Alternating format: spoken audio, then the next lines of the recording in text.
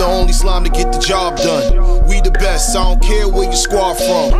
Find me on the block knocking rocks off, or the M6 drop with the top Yo, off. the dice rolling, rollies, bright golden. Told me light owning, only Mike Jordans. Burn mics for Carlton, dirt bikes is roaring.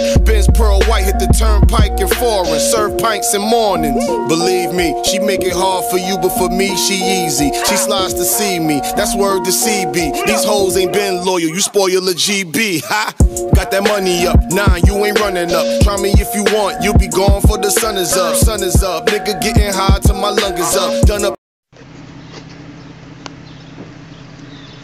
Okay. Burnt down houses. Okay, they're just sitting there like it's normal. Okay, that house tore up. And then you got this house. And what's that? it's a it's a boot. It's a boot Does anybody know why they put a boot on a car? City of Detroit.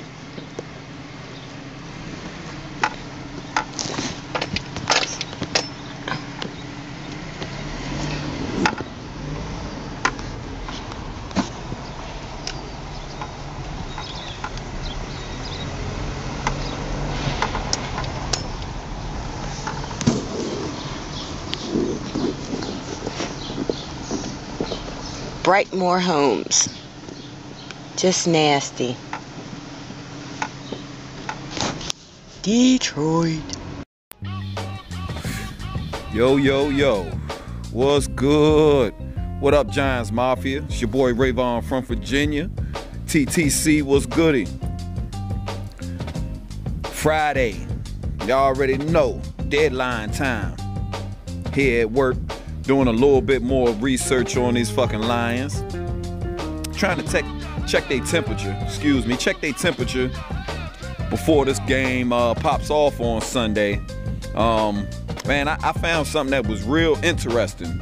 Real interesting. Especially for some of the fans out there that think that this cold weather and these conditions is not gonna have nothing to do with the game.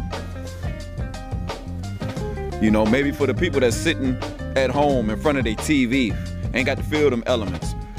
But if you a real motherfucker and you out on this cold shit that I'm in right now and you get hit, that shit ain't no joke. Now, what I found that was very interesting was I had to go and look at the competition that the Lions actually had this year. And by no means am I the type of person to take your schedule and look at it and say your schedule is easy, this, this, and that. Every NFL game is is well fought, well fought. Yeah, there's some blowouts, and we're not we're not talking about blowouts. We're talking about grown ass men that train in OTAs and, and off season, getting themselves ready to battle during the season. You know, it's not college. This is grown ass men.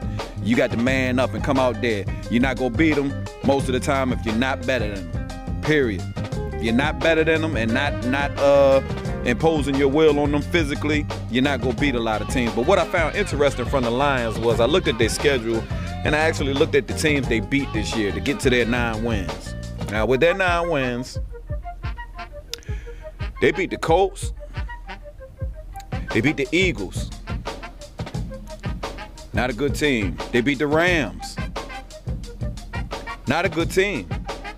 They beat the Redskins which is a good team, and they're in the playoff race right now, so I'll give y'all credit for that. They beat the Vikings twice. Who's to say if they're good or not yet? And they were missing a lot of people this year. You know, we even lost to the fucking Vikings. They don't have Bridgewater or, fuck, or, or fucking Peterson and all they fucking pieces. They lost to the Jags, or they beat the Jags. I'm sorry. They beat the Jags. Not a good team. They beat the Saints. Right now, not a great team and they beat the Bears.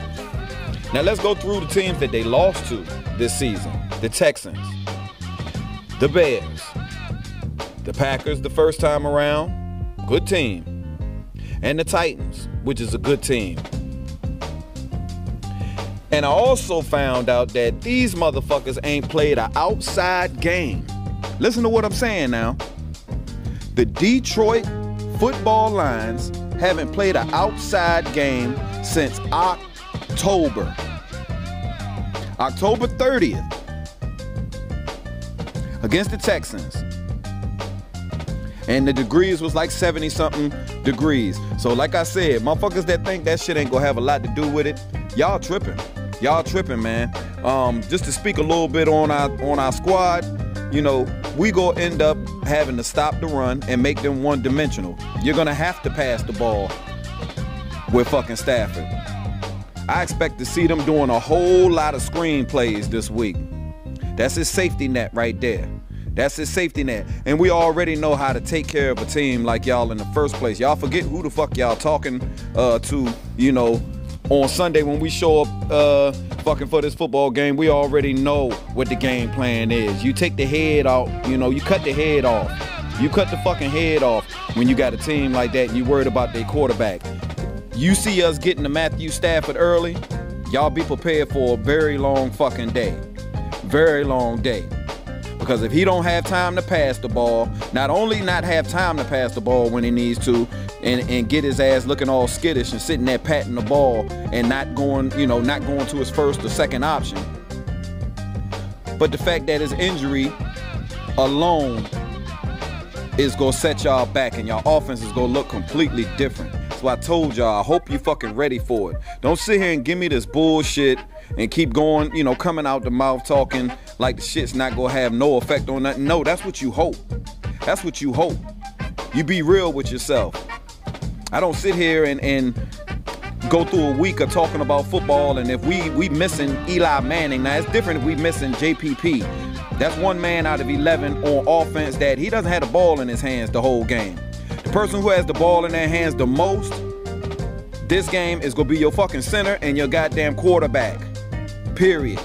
And anybody who has the ball in their hands for the majority of the game, if your hands are injured and the ball does go in your hands, then it is a problem. And if you're not real about it, then you just gonna have to find out on Sunday.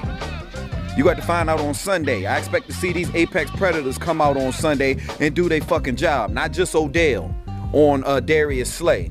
Because we're not really worried about somebody locking Odell down. Nobody can lock Odell down. You will find that out early.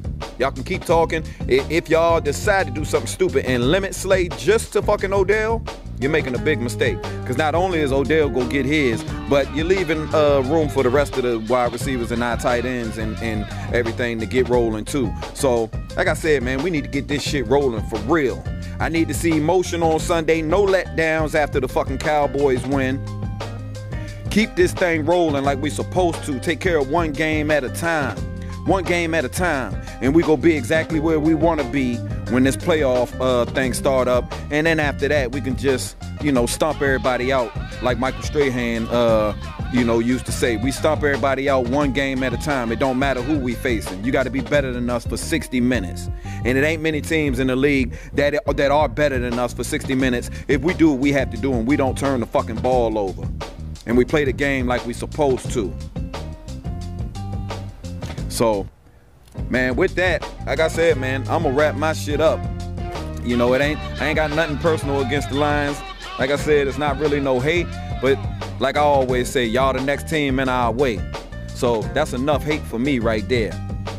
You know, whatever plans y'all got after this game, you know, with your cow with the Cowboys game and the Packers, that's up to you Lions. But this game right here on Sunday, MetLife, regular season finale in MetLife, depending on situations in the playoffs, if we make it there, this gonna be a very emotional game for the Giants. So y'all, y'all get y'all shit ready. After this game, y'all might as well get y'all Detroit Pistons jerseys and all that shit ready, fam. You know, get ready for the college football playoffs. Uh, maybe Michigan State is in it or something. Y'all not gonna want to watch the Lions after this one or the next two weeks probably. So y'all get with me. Rayvon from Virginia. Gone.